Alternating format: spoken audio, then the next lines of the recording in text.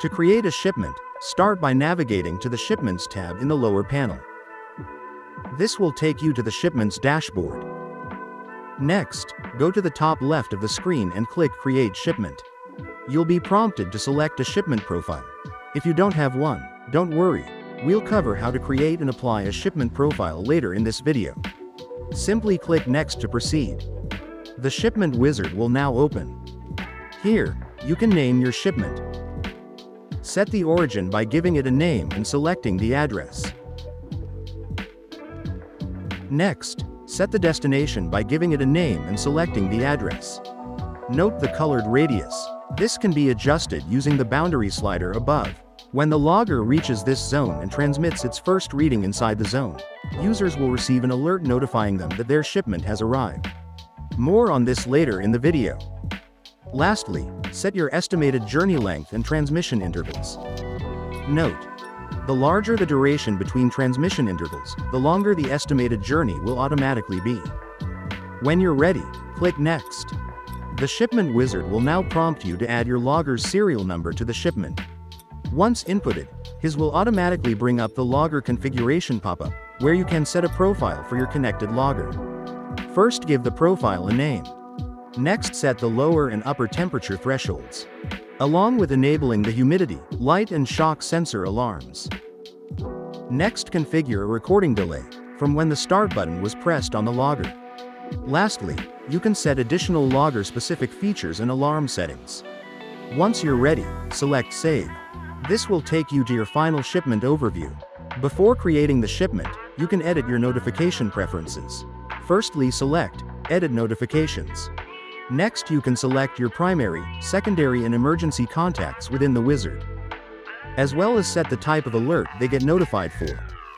When you are happy with your selection, click Create Shipment to complete setting up the shipment. A successful shipment creation will display the shipment in the shipment status panel below the map. You can now start your LT5GEO. If you've already started your logger using the button, your readings will soon appear in the shipment.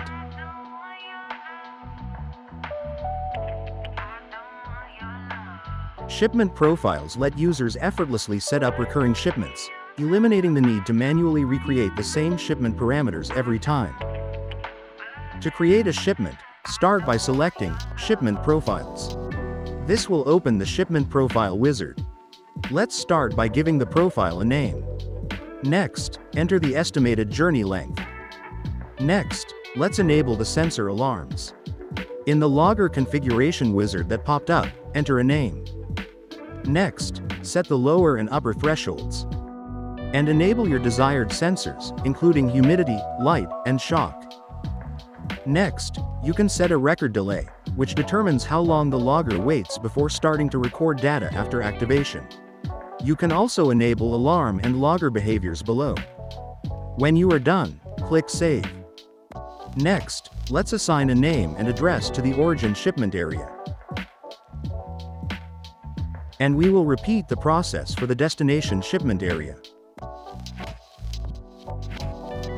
The boundary slider allows you to adjust the radius around the origin and destination areas.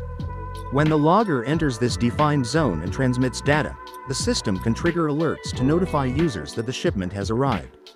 A larger boundary provides more flexibility in detecting arrivals, while a smaller boundary ensures more precise location-based alerts. Next, we are going to set the notification settings for this shipment profile. Here, you can choose how notifications will be sent, whether by email or SMS, and specify who should receive them. On the side panel, you can manage your contact list by designating primary, secondary, and emergency contacts. You can have multiple secondary and emergency contacts to ensure the right people are alerted when necessary. When you are satisfied with your shipment profile, select Save to store the profile. This will take you back to the shipment dashboard overview.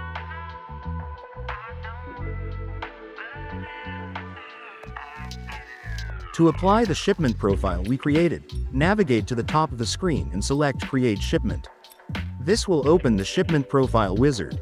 From the drop-down menu, select the profile you just created. The wizard will automatically open and populate the shipment wizard with the saved profile settings. To proceed, click Next. You will be prompted to enter your logger or multiple logger serial numbers that you'd like the profile to be configured to.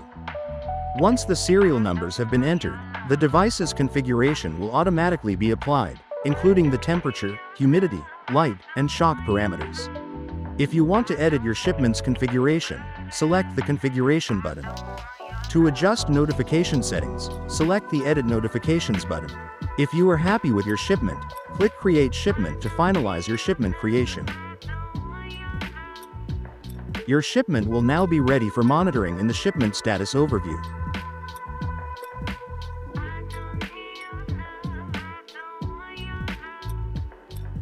To complete your shipment, simply select the shipment you would like to complete from the Shipments panel below. This will bring up the Shipment Info tab. From here, navigate to the top left of the screen and select Complete Shipment. Next, a logger status screen will populate, asking if you are sure you want to complete the shipment. If you are happy to proceed, select Yes.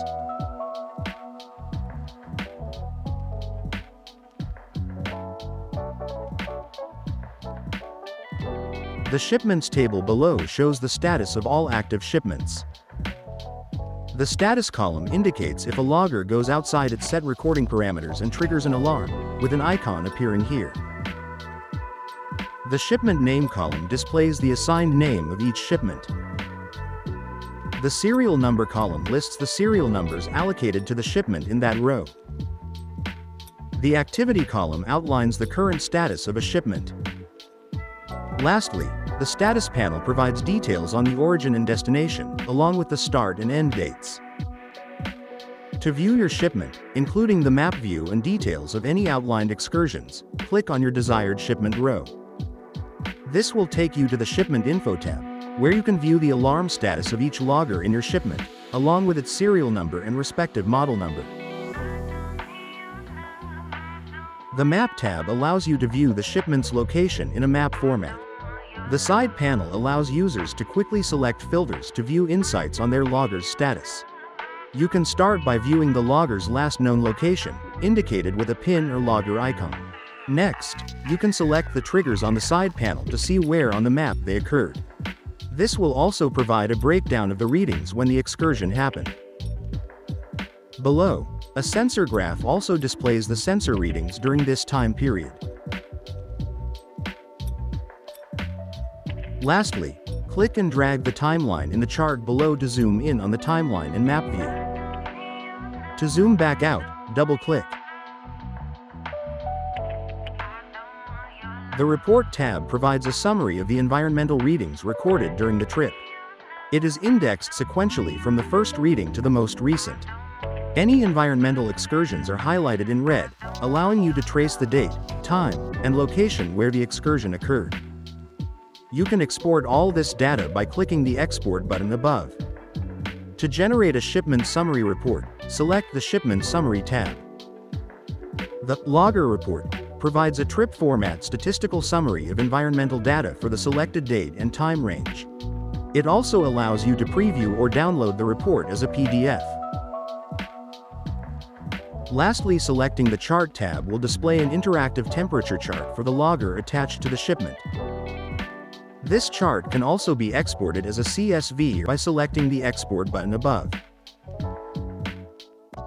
For more information about LogTag Online, visit our website at logtag.com and navigate to the LogTag Online webpage, where you can find training resources, tutorials, and helpful tips.